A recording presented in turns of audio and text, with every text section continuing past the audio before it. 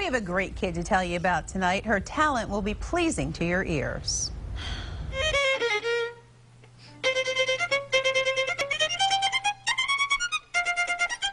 I started playing when I was three years old.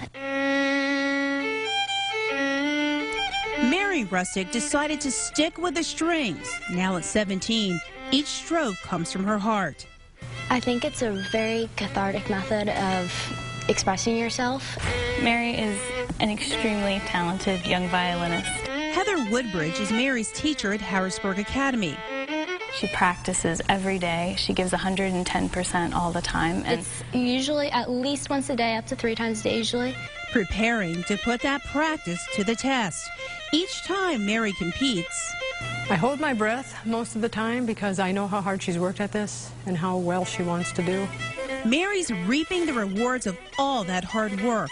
Not only is she first chair first violin at Harrisburg Academy, she also plays for the Hershey Symphony.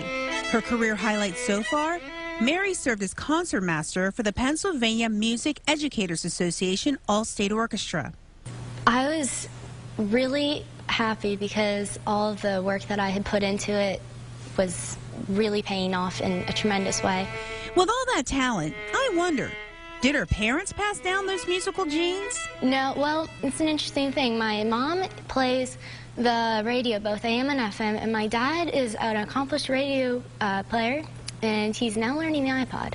Kidding aside, Mary's serious about passing her passion to a new generation. She teaches violin to youngsters. I thought if she could teach them Twinkle Twinkle Little Star. Good, now two on the opening. Close now we put our first finger down on the E string, which is an F sharp, and it's a little bit higher.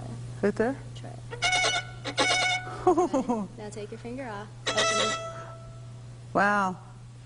I'm not really good at this. I'm going to leave it to the pro. Whose focus and commitment show each time she picks up her violin. My goal, my family's goal is always to achieve the highest level of responsibility in anything that we um, set out to do. Mm, what a wonderful young lady. Well, Mary hopes to open her own music school one day. We also want to give kudos to Harrisburg Academy junior Alex Walker, pictured with Mary, for making PMEA All-State Chorus. We'll be right back.